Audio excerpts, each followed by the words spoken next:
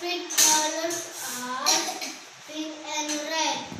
Juan's favorite, favorite colors are blue and green. Asia's favorite colors are pink and pink and pink and white.